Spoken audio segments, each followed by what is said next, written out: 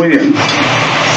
Eh, esta tarde está programada para el cierre de nuestro programa de nuestro Congreso Virtual Internacional 2021, una conferencia este, una este, eh, por el profesor Carlos Jaime Echeverri Ciro. La conferencia es Nutrición Materno-Fetal Óptima, el camino para lograr mejores resultados perinatales. Es tan importante que nosotros sabemos que nuestros países, sobre los que estamos en esa lista, este, somos países este, en desarrollo en los cuales se presenta un problema que es bastante grande, que es los problemas de nutrición, desnutrición, anemia y en esa presentación en nuestras pacientes gestantes, desde luego conlleva a una, a una, a una, complicación, ya sea en la gestante y en el producto. Eso es lo que vamos a escuchar en esta conferencia, este, este eh, auspiciada por Abbott del doctor Jaime Echeverri Ciro. El doctor Jaime Echeverri Ciro es un especialista en ginecología y obstetricia de la Universidad de Caldas, Manizales, Colombia. Es especialista en medicina materno-fetal en la Universidad de Toledo, en Iowa, Estados Unidos. Es magíster en epidemiología en la Universidad de Medellín, en Colombia, y es jefe de la unidad de medicina materno-fetal del Departamento de Obstetricia y Ginecología en la Clínica Familiar Pereira, en Colombia. Y es fellow en ACOG. Está actualmente en el Comité de Morbilidad de y Mortalidad Perinatal del Distrito 12 de ACOG. Doctor Echeverri, por favor, su conferencia. Eh, gracias por estar con nosotros esta noche. Eh, doy agradecimiento al Laboratorio SAO y a la organización del Congreso Peruano de Obstetricia y Ginecología por abrirme este espacio, permitirme hablar de este tema que es apasionante, la nutrición materno-fetal óptima y el camino para lograr mejores resultados perinatales. Desde claro que no tengo ningún conflicto de interés en esta presentación. Estos son básicamente los objetivos de una nutrición adecuada desde la preconcepción y durante el embarazo y todos nosotros los conocemos. Uno de los más importantes es tal vez el último, que es reducir el riesgo de enfermedades crónicas no transmisibles. Y aquí es donde nosotros como prestadores de servicios de salud podemos lograr un impacto grande manejando nutricionalmente de una forma adecuada a nuestras pacientes y obteniendo resultados y nuevas generaciones con mejor calidad de salud. Hay objetivos y metas claras de desarrollo sostenible y hay unos indicadores, seis de ellos, que tienen que ver con los objetivos mundiales de nutrición para 2025 y estos seis están impactados directamente por manejo nutricional y estos son los que tenemos que tratar de lograr una nutrición adecuada. Si bien la malnutrición ha cambiado en las últimas décadas, esta falta de lograr esos objetivos, esos seis que tenemos anteriormente, son los que llevan a que se relacionen hasta con un 45% de la mortalidad materno-infantil. 45% de esa mortalidad relacionada con temas de malnutrición. El panorama global, mundial y específicamente regional no es muy alentador. Este es de la Organización Mundial de la Salud y la FAO, donde nos muestra el panorama tan grande, el abanico que tenemos de malnutrición en nuestra región y en nuestras comunidades, pasando desde poblaciones desnutridas con déficit de nutrientes, tanto las mujeres, las embarazadas en el periodo de lactancia como sus niños en su primera infancia, lo que lleva a estas cifras aterradoras, 690 millones de personas que padecen hambre crónica en el mundo y por efectos de la pandemia se estima que para 2030 pudieran llegar a 840 millones de personas. Más de 2 mil millones de personas que sufren inseguridad alimentaria, es decir, no tienen alimentos, no tienen la cantidad adecuada de alimentos o con los nutrientes básicos para satisfacer sus necesidades, lo que ha llevado a tasas de retraso de crecimiento hasta 144 millones eh, de niños en el mundo y más de 47 millones con desnutrición crónica, cifras que no son ajenas a los países de nuestra región. Los datos de la encuesta demográfica de salud familiar demuestran que en Perú el 11% de menores de 5 años tenían desnutrición crónica a 2019 y 7.3% de porcentaje de neonatos con bajo peso al nacer, cifras que han sido muy estables, muy parejas en los últimos seis años aproximadamente. Pero la transición es a esto, a que además pensábamos que los países de bajos y medianos ingresos éramos solo eso, países con desnutrición, restricción del crecimiento, no. La obesidad juega un papel preponderante como una epidemia en el mundo. 13% de la población población adulta mundial es obesa. Obesa, no hablo solo de sobrepeso, sino de obesidad. Y es que la transición en las últimas cuatro décadas ha sido de pasar de países que son malnutridos por déficit de nutrientes, proteínas, macro, micronutrientes, a personas que son más obesas, hasta 10 veces más obesos en el mundo y en la región en las últimas cuatro décadas. Y esto que ha llevado a que también se nos presente otro problema, el de las mujeres adolescentes embarazadas. En mi país, muchas regiones tienen una tasa hasta de 1 en 4 embarazos en adolescentes. Esto, el problema es porque son niñas, no han terminado de crecer. Ellas todavía tienen déficit de muchos nutrientes, apenas están calcificando sus huesos, muchas de ellas están osteopénicas, muchas de ellas tienen déficit de nutrientes, están anémicas, tienen déficit de folatos, tienen una carga proteica energética baja y ya tienen la responsabilidad no solo de formar nueva vida en su vientre, sino de sostenerla durante las primeras etapas de la infancia con la lactancia. En el Perú, las cifras de embarazo en adolescentes son más altas en la zona rural, 22% en comparación al 10% de la zona urbana, pero sigue siendo una prevalencia alta de embarazos en adolescentes y es un grupo poblacional donde hay que empezar a tratarlo. Por eso la recomendación muchas veces es a que el manejo nutricional en el embarazo debería empezar siempre desde la etapa preconcepcional y debemos enfocarnos en el manejo, los que tengan oportunidad de manejar infanto-adolescencia, de tratar esas adolescentes en la etapa escolar y dar programas de suplementación para que lleguen en mejores condiciones al embarazo. El otro problema es el déficit de micronutrientes y tal vez el más importante relacionado con tasas de morbimortalidad perinatal es el de la anemia. Hasta una tercera parte de la población de gestantes es anémica y la mitad de ellas es por déficit de hierro, algo que podemos corregir con una suplementación adecuada. Estos son los datos del Ministerio de Salud y el Instituto Nacional de Salud de Perú, del Centro Nacional de Alimentación y Nutrición. Los datos comparativos entre 2018 y 2019 no son muy diferentes. No hubo una reducción significativa de la prevalencia de anemia en las gestantes. Pero este es el dato que a mí me parece más importante.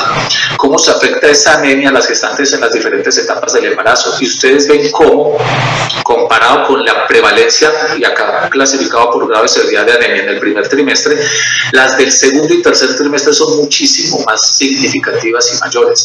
La porcentaje de anemia que se va incrementando en las embarazadas hacia el final del embarazo y la severidad de esa anemia hace que corran mayor riesgo de complicaciones perinatales grandes. Una paciente de estas presenta una hemorragia postparto y con ese grado de anemia termina con peores resultados perinatales. ¿Cuál es el estado nutricional en general en el Perú, según los datos de esta encuesta? Una tercera parte de la población está normal, pero dos terceras partes de la población tienen malnutrición. Y cuando hablo de malnutrición, hablo de sobrenutrición y delgadez, desnutrición. La obesidad afecta hasta el 29% específicamente en las mujeres y miren en las embarazadas. Esta es la tasa de malnutrición en las embarazadas en el Perú. Datos que son preocupantes, pero se convierten en ventana de oportunidad para poder tratarlas nutricionalmente de forma adecuada. En resumen, tenemos un problema grande de sobrepeso en el Perú y en la región, con anemia, especialmente anemia materna y anemia infantil, que nos aumentan las probabilidades de complicaciones. Y esas complicaciones, si ustedes lo ven acá, generan que este, las desórdenes maternos, neonatales y de la nutrición, y específicamente las enfermedades crónicas no transmisibles relacionadas con las principales causas de muerte.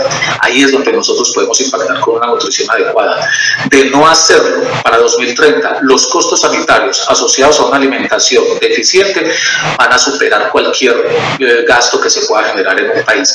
Y esto compromete no solo las políticas de manejo de estas embarazadas, donde en una sola persona tenemos sobrenutrición, déficit de nutrientes hambre oculta y malnutrición y desnutrición infantil intrauterina, lo que nos lleva a que estos resultados perinatales sean diferentes. Vamos a tener bebecitos que pueden ser sobrenutridos y otros desnutridos. Y esto es lo que nos va a generar un mayor grado de morbimortalidad y resultado perinatal adverso, que es donde tenemos que trabajar.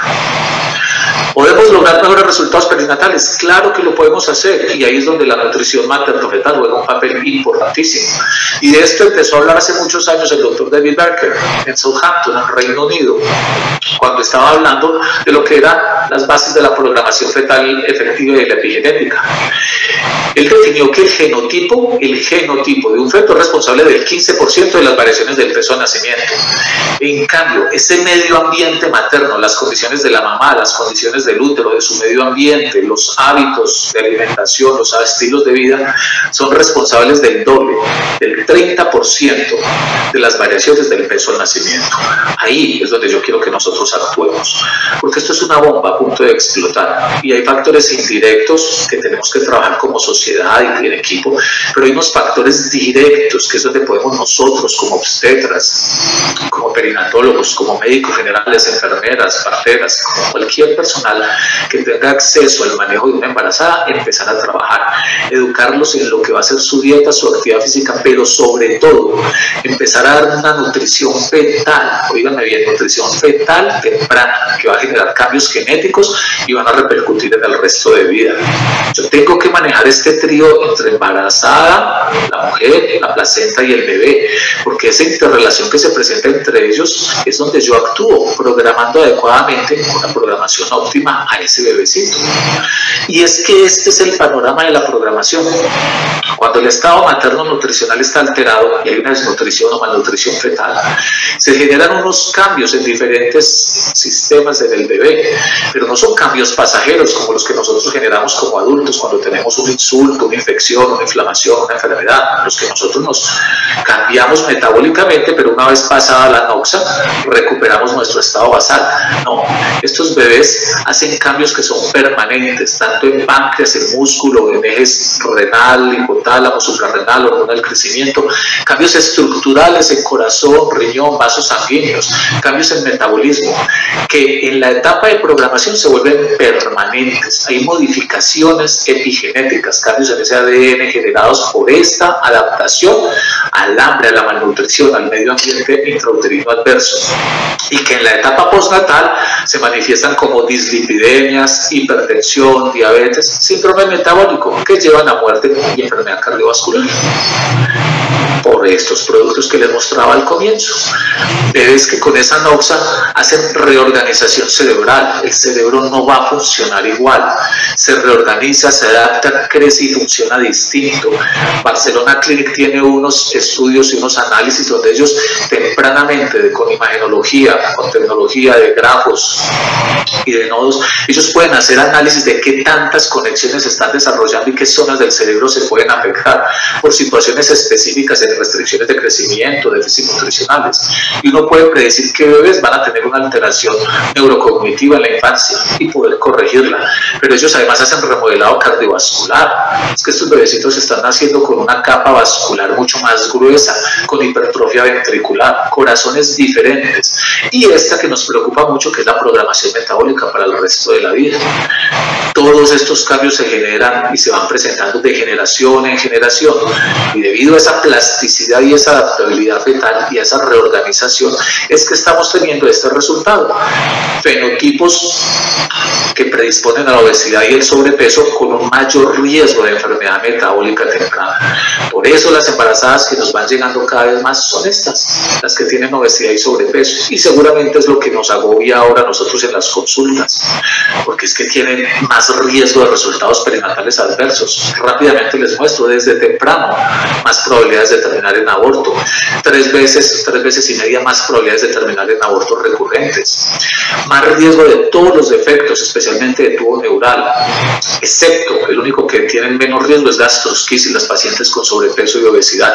Los otros riesgos ustedes los ven que se aumentan una y hasta más de dos veces por déficit de micronutrientes. Algunos de estos, cuando hay déficit de folatos, todavía muchísimo más.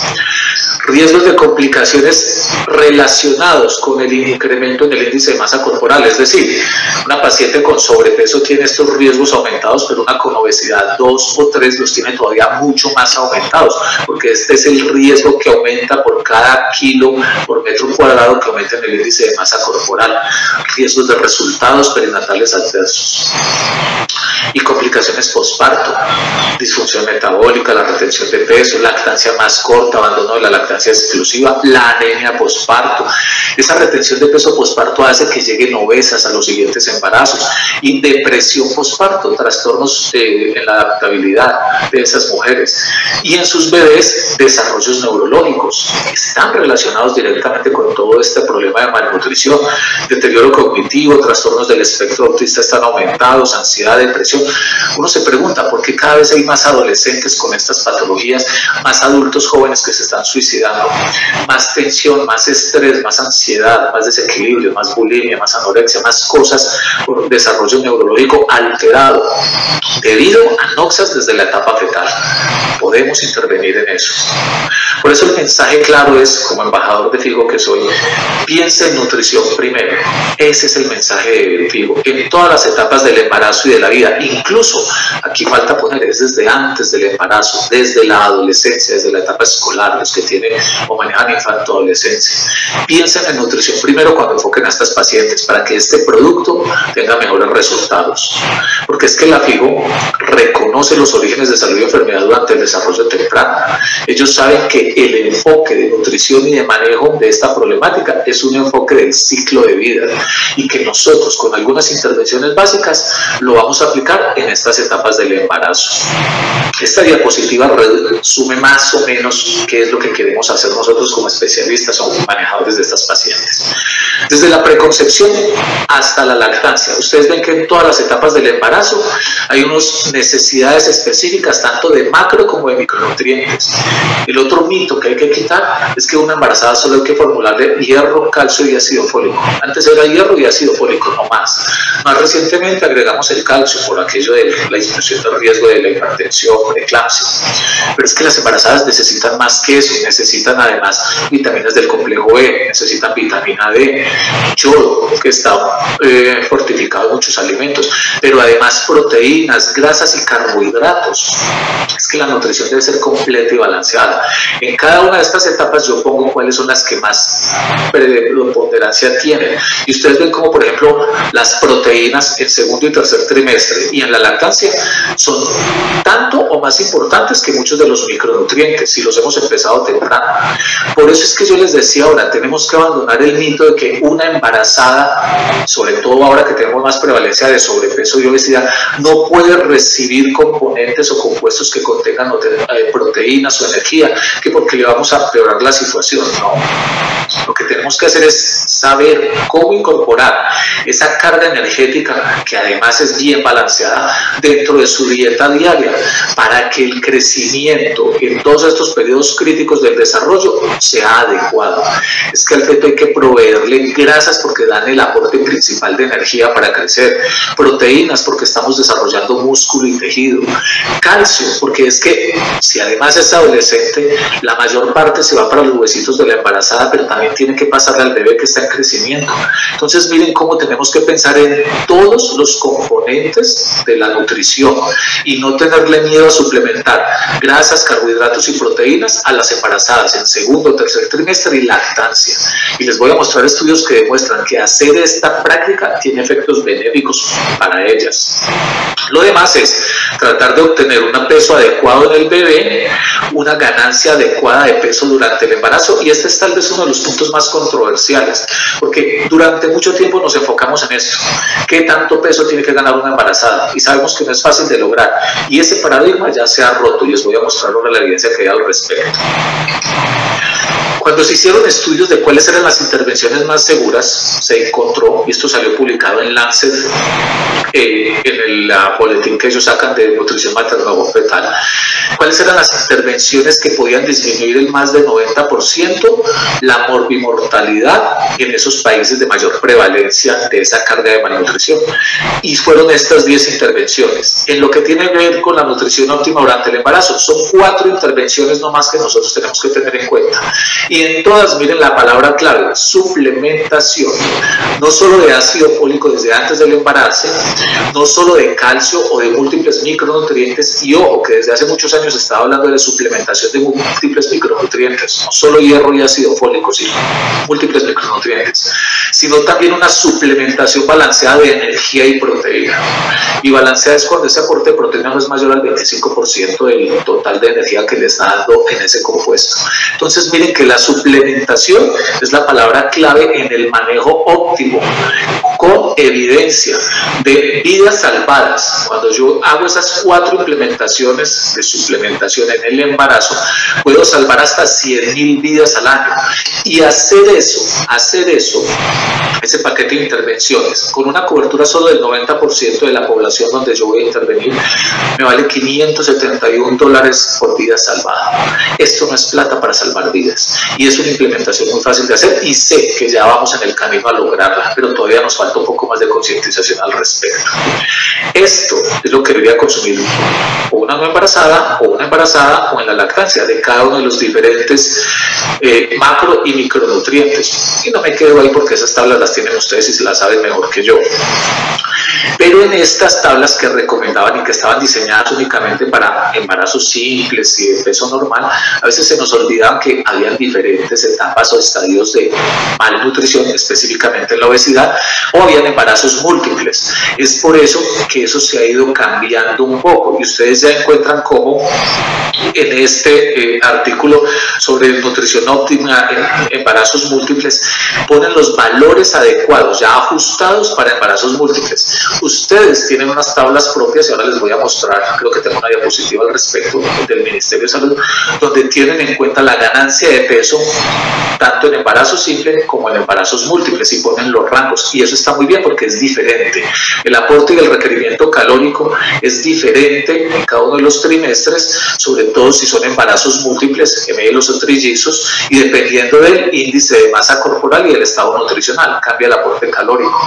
Entonces miren que a las embarazadas, horas. A todas, no importa el estado nutricional previo, pero si además tienen embarazos múltiples, a todas hay que incrementarles el aporte calórico. No le tengan entonces miedo a aportarles suplementos o complementos que tengan calorías y que tengan proteína porque es que las embarazadas lo necesitan. Ahora, la gran pregunta era entonces, ¿cuánto peso debo ganar? Porque es que el otro mito era que las embarazadas debían comer por dos, porque ya tenían que soportar a ese bebecito. La idea es comer para dos, comer sano, comer en forma de calidad. Nosotros primero hacemos una evaluación nutricional, cada uno de nuestros países en la región tiene diferentes pautas para hacer esa evaluación, pero casi todas se basan en el índice de masa corporal. Luego de clasificar el estado nutricional de nuestras embarazadas, las clasificamos como desnutrición, peso normal, sobrepeso u obesidad, y ahí queda el rango de ganancia de peso durante el embarazo. Pero miren, aún con obesidad deben ganar peso en el embarazo, 5 a 9 kilos. ¿Cuál fue el avance en esto? Pues que además hacemos el ganancia de peso en embarazos múltiples, dependiendo también si está con sobrepeso, obesidad o si es peso normal. Y mire cómo en ellas pueden llegar hasta 24 kilos. Y además tenemos en cuenta en las adolescentes, en que hay que irse a los límites superiores, que crezcan un poco más. Estas fueron recomendaciones del Instituto de Medicina, que ahora es la Academia Nacional de Medicina, y fueron recomendaciones que se hicieron desde el 2009 y son las que están en casi todas las vías de nuestros países y nuestra región. Acá es donde estamos empezando a discutir y a replantear esta posición. No debemos obsesionarnos con esta ganancia de peso, sino ver cómo crece también ese bebé y cómo suplementar micronutrientes en forma adecuada. Y segundo, una de las fallas de esto es que la obesidad la tenía como una sola clasificación, todos los que estaban por encima de 30 kilogramos por metro cuadrado, no la dividía en los tres grupos de obesidad. Ahí es donde entonces sale este proyecto del 2019, pueden acceder a él, el proyecto del ciclo de vida de obesidad y resultados neonatales. Es un grupo de estudio que hizo esto, analizó el índice de masa corporal, pero además dividió la obesidad por clases 1, 2 y 3, dependiendo de ese índice de masa corporal. Y ahí fue donde puso cuáles eran las recomendaciones de ganancia de peso. Y mire cómo en las de obesidad 2 o 3, la ganancia de peso puede ir desde 0 hasta 4 kilos o desde 0 hasta 6 kilos. Acá dio un poco más que en esta, no es un error, es un sesgo que tuvieron ellos por el, la cantidad de pacientes que incluían en cada uno de estos grupos y lo explican en el artículo. Pero el punto clave acá es, mire que una embarazada con una obesidad 2 o 3 puede que no gane peso durante el embarazo y eso no es malo, porque es que antes nos estábamos quedando en que al menos tenía que ganar 5 a 9 kilos y esa es la mentalidad que hay que ir olvidando, porque eso ya no es así. En esta estas con obesidad yo puedo ir desde no ganar casi nada, solo dos kilos, o no ganar peso. Ya no debo sobrepasar esa ganancia de peso, lo mismo en embarazos múltiples. Si bien es cierto, en cada etapa del embarazo las mujeres necesitan más aporte energético porque necesitan suplir esas necesidades del feto y eso pasa en el embarazo en el segundo trimestre, en el último trimestre y en la lactancia, pues hay que saber cómo lo suplementamos y cómo logramos esas calorías extras. Y lo más recomendable es que lo hagamos con un manejo integral, donde tengamos carbohidratos que hay que aumentarse, grasas que tienen que aumentarse, proteínas que tienen que aumentarse en el embarazo. No le tengamos miedo a los complementos nutricionales que aporten carbohidratos, proteínas o grasas, porque tenemos que lograr darle en cada etapa del embarazo, tercer, segundo o tercer trimestre, en el segundo 360 kilocalorías más al día y en el último hasta 475 kilocalorías más al día. Si nosotros sabemos cuántas kilocalorías aporta cada uno de estos productos, los podemos incluir dentro de la dieta y del manejo diario y seguramente vamos a tener un resultado mejor que este, que es al que nos exponemos. Yo esas 360 kilocalorías al día las puedo tener fácil. Los productos lácteos, huevo, pescado, frutas, verduras, harinas integrales, pero desafortunadamente muchas embarazadas deciden aumentar esas 360 kilocalorías al día con comida chatarra. Ocho galletitas Oreos le dan lo mismo. Y usted sube el aporte de energía, de calorías, pero no tiene un aporte nutricional óptimo. Ahí es donde está la diferencia. No es solo subir calorías, sino subirlas en unas que me aporten óptimamente y me aprovechen eh, ese eh, aporte en el embarazo. Esta es la división de los platos y la distribución de las comidas que recomendamos para las embarazadas. Y aquí hay dos meriendas a la media mañana y en la tarde, que se pueden lograr con esto, con comida, o también pueden ser cambiadas por suplementos nutricionales que muchos de los que hay en el mercado tienen bajo índice glicémico, se pueden utilizar en sobrepeso, obesidad e incluso en diabetes gestacional, porque tiene un índice glicémico muy bajo, que aportan pocas calorías, 127, 130 kilocalorías, la suma de eso está aún por debajo de las 360 que necesito al día, pero que me están dando proteína, es proteína balanceada y me están dando micronutrientes. Entonces yo tengo que conocer cómo voy a distribuir las raciones y qué raciones y qué elementos voy a utilizar y dejar el miedo de utilizar esos complementos en el embarazo, porque es que yo necesito dar suplementación adecuada. Como no he hecho eso, y muchas de nuestras embarazadas no lo hacen y empiezan a consumir eh, calorías vacías, pasa esto, y esto se reportó desde el 2017, una metaanálisis de más de 1.300.000 embarazos, donde encontraron que la ganancia de peso óptima solo la tienen el 30% de nuestras embarazadas. El 70% no tienen ganancia óptima. Una cuarta parte están por debajo y la mitad están por encima de la ganancia que nosotros recomendamos, perpetuando más el problema de sobrepeso obesidad. Y esto tiene repercusiones en resultados perinatales. Entonces miren cómo si yo modifico eso, puedo modificar estos resultados perinatales. Y la nutrición es el camino a obtener mejores resultados perinatales. Uno de los mensajes claro entonces es, hablando ya sea de déficit o exceso de complicaciones en el embarazo, que el estado nutricional de la mamá antes del embarazo tiene un impacto mayor en el peso del bebé al nacer.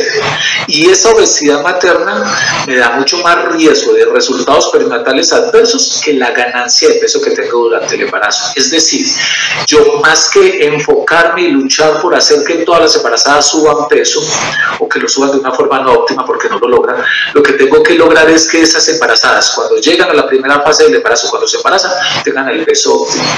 Por eso el manejo debe ser desde la infancia, adolescencia y en el embarazo tratar de obtener productos que no tengan ese fenotipo obesogénico para romper con esta cadena.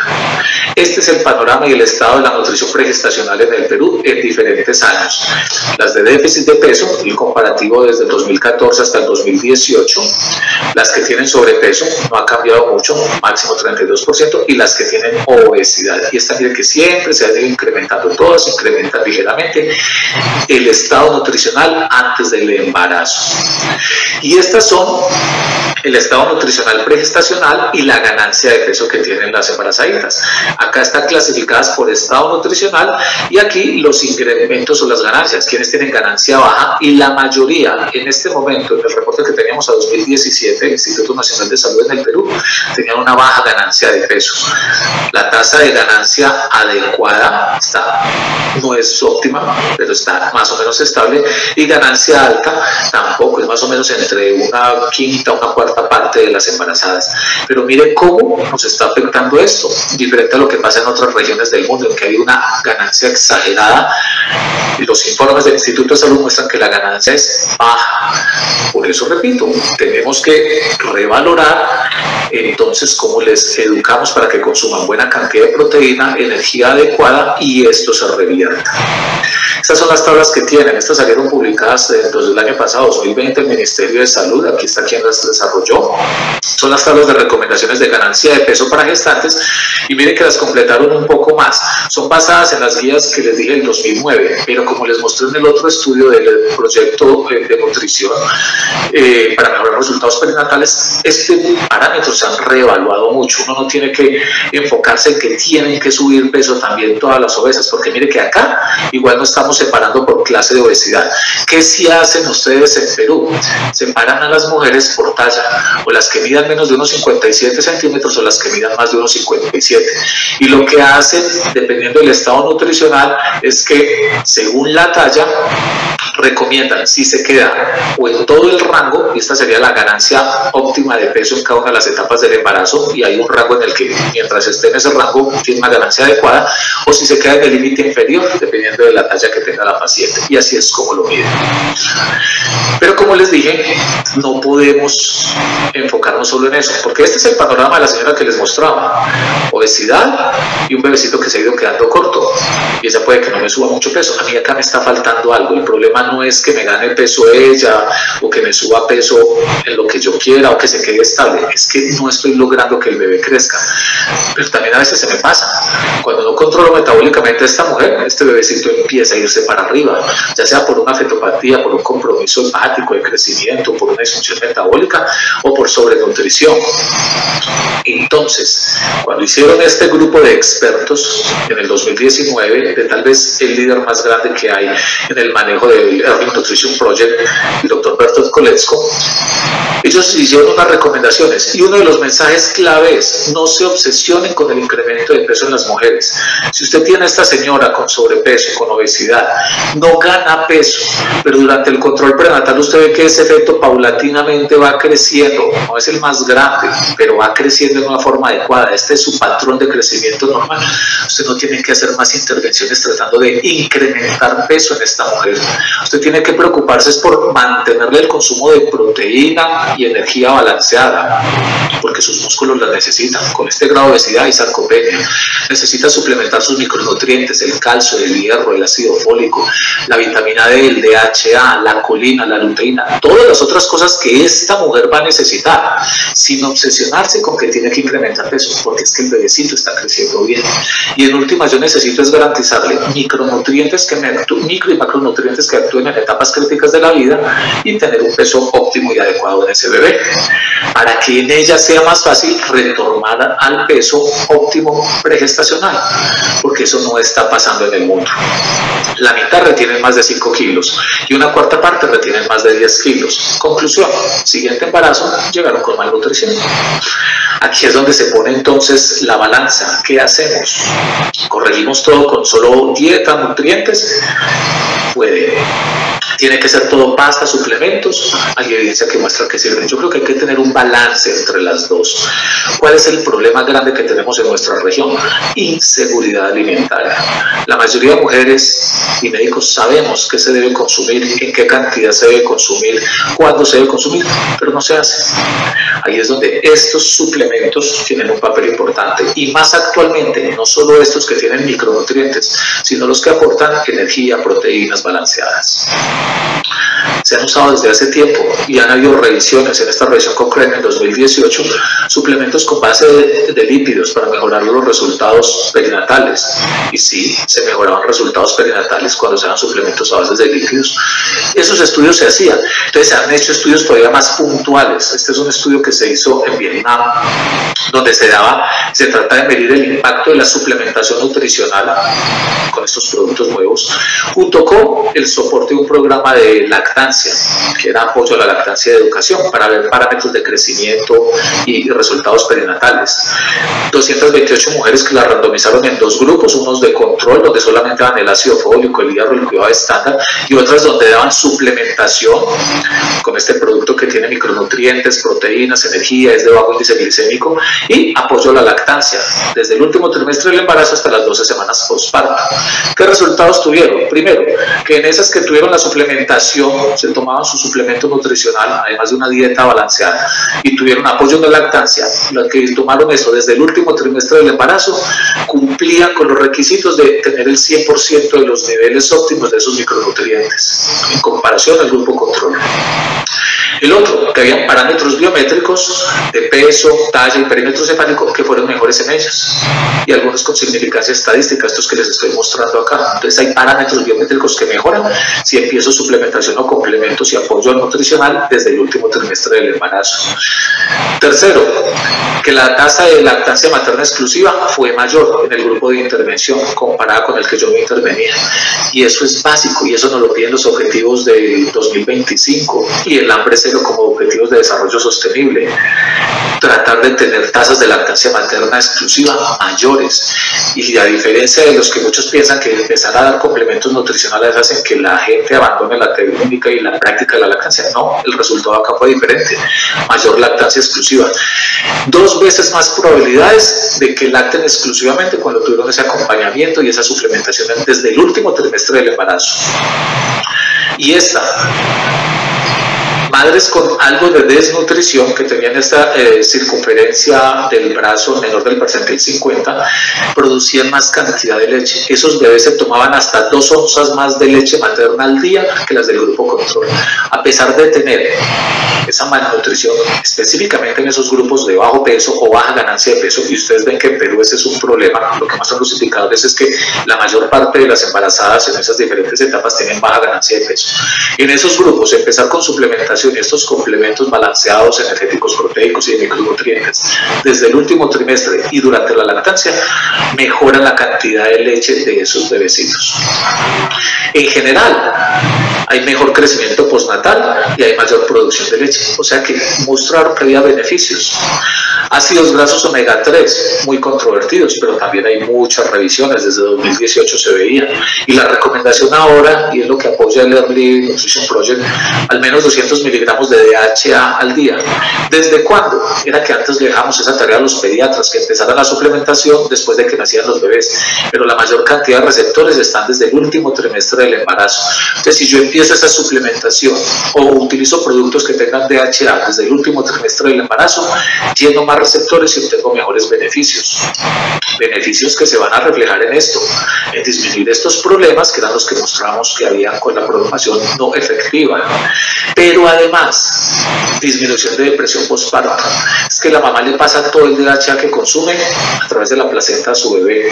Y cuando hay depresión de DHA, hay mayor sintomatología y más riesgo de depresión postparto. Y cuando se hizo este estudio en una corte de 380 mujeres, se demostró que al dar complementos nutricionales con DHA, al aumentar un 1% el DHA plasmático, la mamá, se asocia a una reducción del 59% de, síndrome, de síntomas, de reporte de síntomas depresivos.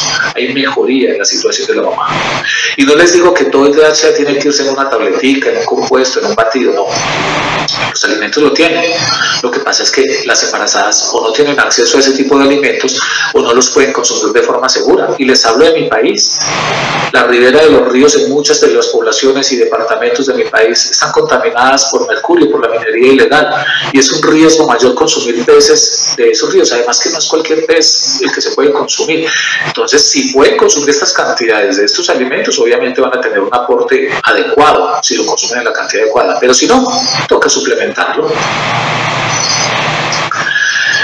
En el 2017 ya se estaba empezando a hablar entonces de si había que o no cambiar la política de la Organización Mundial de la Salud.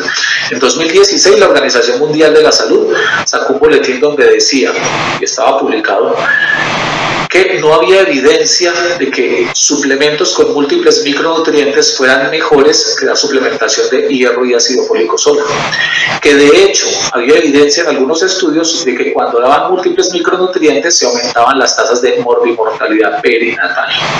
Y basado en eso, recomendaban que a las embarazadas solo teníamos que darle hierro y ácido fólico. Después el calcio para la preeclampsia. Pero no usar estos multivitamínicos que nos bombardeaban en el mercado pues entonces se hizo este metaanálisis, pero fue un metaanálisis de datos individuales de pacientes de las 17 pruebas, habían dos más de las que no se usaron cuando la Organización Mundial de la Salud sacó su comunicado en 2016. Este salió en Lancet en 2017. Y al hacer el análisis de datos individuales de pacientes, es decir, no analizaban 17 resultados, sino que metían en todo el grupo el total de pacientes de cada uno de los estudios, y eso da más fortaleza. Demostraron que no había evidencia estadísticamente significativa de mayor mortalidad neonatal cuando se usaban múltiples micronutrientes comparados con hierro o con hierro con ácido fólico. Pero más aún, demostraron que había mejoría y disminución del riesgo de mortalidad neonatal en un 15%, disminuía el riesgo de bajo peso al nacer o de pequeño para la gestacional o de la mortalidad a los seis meses, específicamente si se usaban en pacientes con anemia. Y mire, la reducción de riesgo llegaba hasta el 29% de la mortalidad a los seis meses. Y también había disminución del riesgo de partos prematuros hasta el 16%. Entonces empezaron a decir, tenemos que reevaluar cuál va a ser nuestra política. Se salió en Cochrane esta revisión en 2019 20 ensayos, tres más de los que habían analizado antes, en países de ingresos bajos y medios, analizando el uso de múltiples micronutrientes comparados con hierro y ácido fólico. Conclusión. Estos son los beneficios adicionales de utilizar compuestos que tengan múltiples micronutrientes. Disminuye el bajo peso al nacer, pequeño para gestacional, parto pretérmino, mortinato y muerte neonatal. Y de hecho, cuando se comparaban, eran igualmente efectivos en disminuir el riesgo de anemia del embarazo. Entonces, no solo lograban el objetivo de disminuir la anemia, sino que si yo, en vez de utilizar solo hierro o hierro con ácido fólico, utilizo un compuesto de múltiples micronutrientes, puedo impactar en estos resultados perinatales. Ahí fue donde empezaron a hacer los llamados y esa publicación de Cochrane escribió esto textualmente, aparece así. Estos resultados proporcionan una base para guiar el reemplazo de suplementos de hierro y ácido fólico con suplementos de micronutrientes múltiples para las mujeres en países de ingresos medios y bajos. Cuando esto salió, ellos dijeron, empiecen a rezar sus guías de recomendación nutricional y cámbienlas porque tenemos evidencia que es benéfico. Empezaron entonces a salir estudios 2019 donde decían que esa nueva evidencia debía informar y hacer que la Organización Mundial de la Salud cambiara sus guías, porque es que evidentemente la disminución en esta, en el riesgo, o sea, la mejoría que había, disminuyendo parto prematuro, partos muy prematuros, pequeño, bajo peso nacer, era notoria y estadísticamente significativa, sin incrementar mortalidad. Pues el año pasado, el 30 de julio, en el British Medical Journal, la Organización Mundial de la Salud cambió su posición y publicó lo que son las recomendaciones de nutrición antenatal. Es una actualización en el uso de múltiples micronutrientes. Está vigente desde el año pasado. Y en ella, a pesar de que son rigurosos en decir que solo en el contexto de investigación rigurosa, aceptan que si hay una recomendación del uso de múltiples micronutrientes como efecto benéfico comparados con la suplementación solo de hierro y ácido fólico. Ellos hicieron el estudio basado con este compuesto, que eran suplementos de micronutrientes, y contenían estos 15 micronutrientes. Así tenían el producto, así lo estudiaron. Estos eran los aportes que le daban al día. Esto es lo que se debe recomendar y las cantidades básicas que ellos recomiendan se suplementen en las mujeres en embarazo. Tanto vitamina A, complejo B, calcio, hierro, vitamina D, ácido fólico, yodo, hierro elemental que se puede dar diario o se puede dar semanal. Hay mujeres que no lo toleran diario y usted les puede garantizar que les da 120 miligramos de hierro elemental semanal y cumple. O les garantiza que les da semanalmente una dosis que de 2.8 miligramos de ácido fólico y eso también es igual de benéfico. Esto es lo mínimo que deberíamos darle a una mujer en embarazo según las recomendaciones de la Organización Mundial de la Salud. Y el compuesto que ellos usaron, que era el de las Naciones eh, Unidas, el compuesto de múltiples micronutrientes, tenía estos 15 micronutrientes. Si ustedes ven esta tabla de composición y estas cantidades son similares a muchas de las que nos presentan ahora en el mercado. Un poco más de unas, un poco más de las otras, unas con citratos, otras con carbonatos, otras con gluconatos, hay unas diferencias mínimas. Pero todo lo que están usando contienen estos micronutrientes y es lo que están recomendando ahora.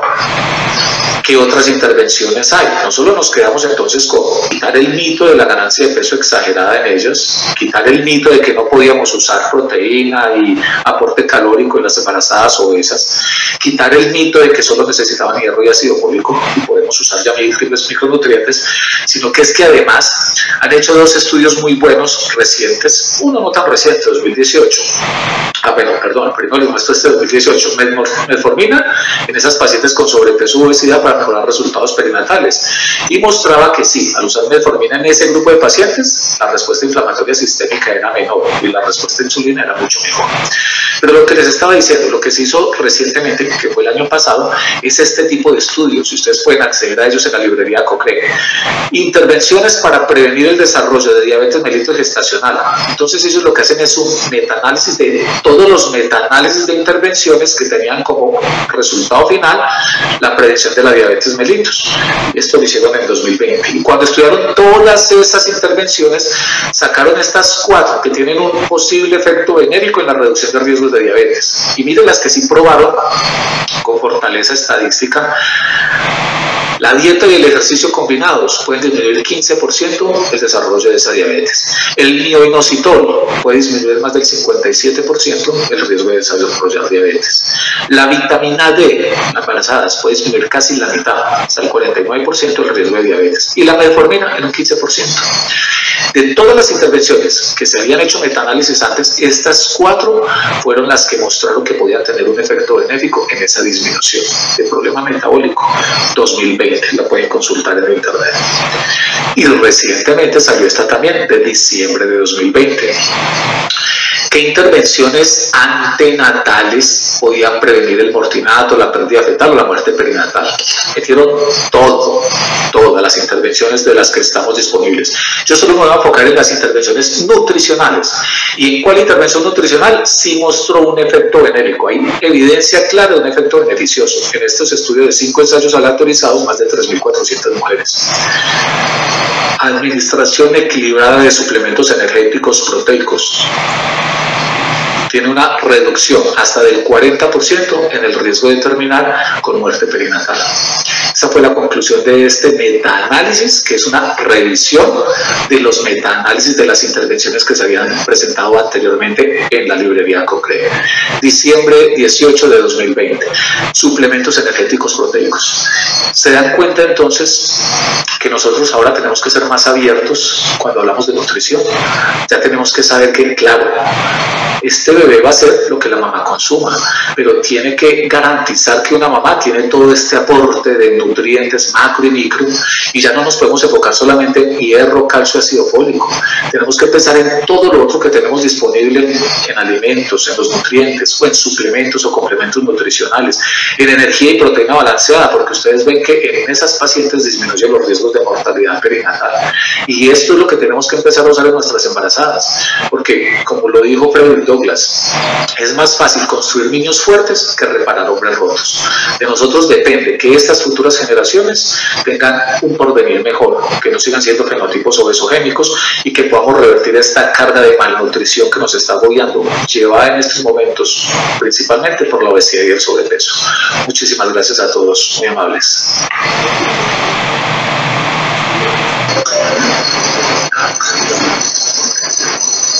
Doctor Matsumura, tiene el micrófono apagado.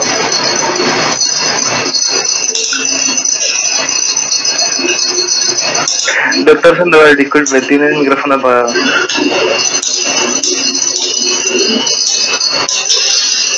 No oigo. Doctor Sandoval, tiene el micrófono apagado. le decía, doctor Echeverri, gracias. Hola, doctor Sandoval. ¿Qué tal, doctor Oye, muchas gracias, encantado de estar con usted acá. Entiendo, ha sido una jornada extenuante para ustedes. Pero ha sido una, una conferencia muy excelente, doctor. Sobre todo le decía, a propósito para nuestros países que están en vía de crecimiento, y en especial el Perú, usted ha mostrado las cifras en las cuales tenemos porcentajes, bueno, que, que dan que hacer pues en cuanto a malnutrición y, a, y anemia, ¿no? Y, y, conforme ha ido desarrollando la, la, la, charla se ha vuelto más importante. Yo le tengo una pregunta acá. Eh, tenemos pacientes que van al consultorio y a veces van medio año antes, un año antes o algunos meses antes y dicen, quiero prepararme para tener un hijo y a veces el ginecobstetra dice, no existe ninguna preparación. Yo quisiera que usted insista en eso, ¿no? Porque eso es importante, porque a la mamá se le debe tomar justo en el preciso momento en que ya va a ser mamá. Y ahí es donde este, se debe insistir para evitar todos estos problemas de los que hemos hablado. Es correcto, completamente de acuerdo con usted. Eh, ojalá toda la cultura de consulta preconcepcional se diseminara, pero desafortunadamente no es así. Pero las pacientes que lleguen con la intención de prepararse para el embarazo, no podemos dejar pasar esa oportunidad. Y eso toma un tiempo, en algunas de ellas casi hasta un año. Y cada vez tenemos más pacientes que, por ejemplo, han tenido obesidades extremas y se han sometido a cirugía bariátrica y necesitamos un periodo de tiempo largo, incluso entre 12 a 18 meses, para prepararlas antes de que se puedan embarazar. En pacientes normales la idea es hacer una valoración nutricional, enfocándome solo en esto, una valoración nutricional y tratar de llevarlas a la condición más óptima de su estado nutricional posible antes de embarazarse. Y no olvidar empezar la suplementación, después de hacer los estudios, con folatos, si tiene antecedentes de efectos del tubo neural, pues la dosis es mucho más alta, hasta 4 miligramos al día. Si no tiene los antecedentes, con 400 microgramos al día es suficiente, al menos eh, tres eh, mesecitos antes de, 12 semanas, 8 o 12 semanas antes de empezar la gestación. Y la corrección de la anemia es básica. Por eso en las apartes de mi conferencia yo decía varias veces, ojalá en nuestra zona se implementaran programas como los hay en otras partes del mundo, donde les dan suplementación con folatos y con hierro a las mujeres en edad escolar, en las últimas etapas de, la edad escolar. Les dan suplementación semanal de hierro y ácido fólico durante los 9-10 meses del calendario escolar. Y con esto vamos a mejorar la situación nutricional de ellas al momento de embarazarse. Entonces sí insisto mucho en que se debe trabajar el periodo preconcepcional. Y parte de los mensajes que dan en este momento la Organización Mundial de la Salud, la FIGO, el Early Project es trabajar en las adolescentes para que estas nuevas generaciones lleguen en mejores condiciones. Qué importante es todo esto, doctor Carlos Echeverri, y conversar con usted, sobre todo porque en nuestro país, en nuestro país se presentan este, pacientes con malnutrición y gestación en, una cantidad regular. Y ahí justo sería bueno que haga hincapié en las guías, ¿no? En las guías que deben estar presentes en un consultorio este, para el control adecuado de nuestros pacientes, ¿no? Es correcto. Y ustedes tienen unas guías actualizadas y de hecho yo les mostraba unas tablas que sacaron muy buenas basadas en el Instituto de Medicina o la Academia de Medicina, donde casi que funcionan como un hormonograma y ustedes simplemente hacen una valoración del estado nutricional tratando de tener el índice de masa corporal preconcepcional. En caso de que no lo tengan, pues utilizan las tablas del CLAP para categorizar nutricionalmente a esa embarazada y de ahí definir cuáles son los incrementos saludables de peso en el transcurso del embarazo. Pero lo básico es no olvidar la suplementación de múltiples micronutrientes, se los mostré varias veces. La palabra clave en las intervenciones efectivas que salvan y que son costo efectivas son la suplementación de micronutrientes en esas etapas críticas. Entonces yo creo que no hay que bajar la guardia. Para nosotros en Colombia al menos fue una proeza haber logrado que en las guías del Ministerio de Salud se incluyera como obligatoria la remisión a valoración por una nutricionista de todas las embarazadas. Eso se hizo desde el 2013. En la realidad eso no pasa. Nos toca a nosotros como médicos hacer esa valoración nutricional, aprender un poco de nutrición, y los elementos que tenemos disponibles de la industria farmacéutica, aprender de las guías de alimentación basadas en alimentos que sacan los ministerios de salud de nuestros países para hacer recomendaciones adecuadas. Yo básicamente les digo, hagan una buena clasificación del estado nutricional, pónganse las metas de ganancia óptima de peso, no se vayan a enseguecer tratando de que todas ganen peso, vigilen muy bien el crecimiento fetal, no olviden mantener siempre una suplementación adecuada de hierro, calcio, ácido fólico, DHA, vitamina D en pacientes de riesgo o diabéticas. Piensen en la utilización posiblemente según sus protocolos y guías de la metformina o el bioinositol, eso mejora resultados perinatales. Instruyalas sobre una actividad física adecuada, ejercicio y hábitos de vida saludables. Estudien bien, sobre todo en las situaciones especiales, las vegetarianas o las veganas, explicarles qué riesgos hay y qué elementos de su dieta pueden utilizar para satisfacer esas necesidades de micronutrientes básicos. Miren situaciones especiales, como las que son sometidas a cirugía bariátrica, y seguramente ustedes tienen guías muy buenas en las que le dice cuáles son los requerimientos mínimos de algunos micronutrientes, porque deben tener dosis todavía mucho mayores, y ajusten ese balance de micronutrientes durante todas las etapas del embarazo, no bajen la guardia, y hagan una vigilancia sobre todos los problemas más prevalentes, esa anemia, estén vigilando la anemia y específicamente la ferropenia. Vitamina D no necesitan hacer seguimiento ni exámenes, no hay que medir y lo recomienda la COP, no hay que hacer mediciones de la 25 hidroxivitamina D, pero nuestra población, a pesar de que estamos en el trópico, tiene prevalencias altas de déficit de vitamina D, entonces no es malo si esos múltiples micronutrientes tienen vitamina D, aportárselos. No le tengan miedo a dar suplementación que tenga proteínas y calorías a las embarazadas, así estén obeses, como les mostré, uno de los mitos que tenemos que derrumbar y cambiar en las guías es quitar el miedo a ese aporte adicional de calorías en una dieta.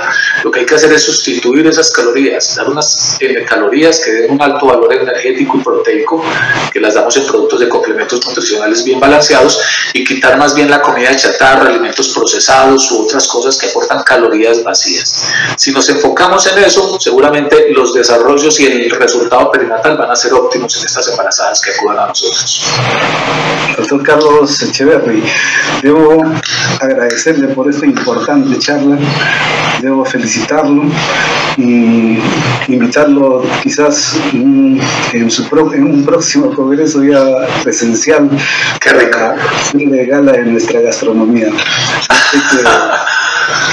usted conoce el país y está, estamos, estamos infinitamente agradecidos. Muchas gracias a usted, doctor Sandoval, por sus amables palabras y claro, es mi deseo poder compartir personalmente con ustedes estar más cerca. Un abrazo a todos ustedes y los felicito por este evento, por la organización, por el cumplimiento con los tiempos y por haber incluido temas tan importantes como este de la nutrición. Esos son los primeros pasos para que logremos cambiar la tendencia de la malnutrición de nuestra zona. Muchísimas gracias. Muy amable.